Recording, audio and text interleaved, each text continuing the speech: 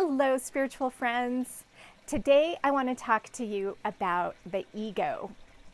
Now, many spiritual people think that it's bad to have an ego, but mainly the ego represents your individual personality.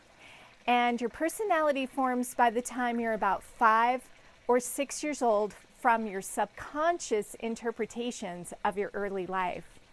This is also when your hand shape archetype forms.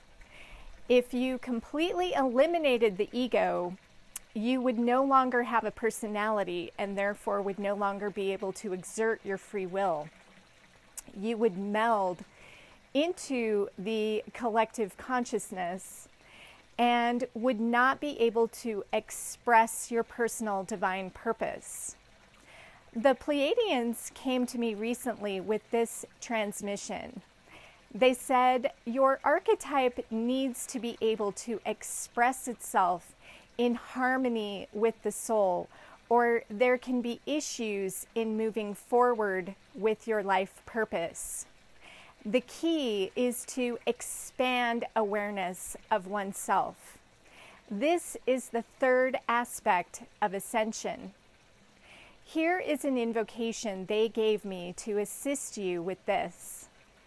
I release any and all false perceptions of myself that are not supporting me in moving forward in my divine life purpose. I let go and release any and all views of not love in all dimensions now.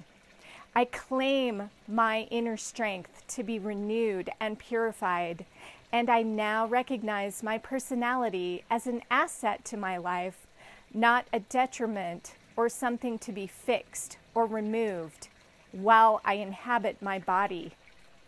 I welcome and allow harmony to be restored with my soul and personality working in tandem as I co create that which my Creator carefully mapped out with me prior to my incarnation.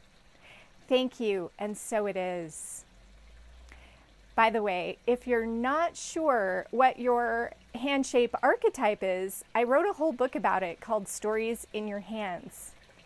And if you're interested in manifesting your really big dreams and your life of abundance and miracles, go ahead and just check out my free training over at ascension17.com. And let me know in the comments what you think and please follow and like for more spiritual and abundance tips. Thank you so much and have a beautiful day.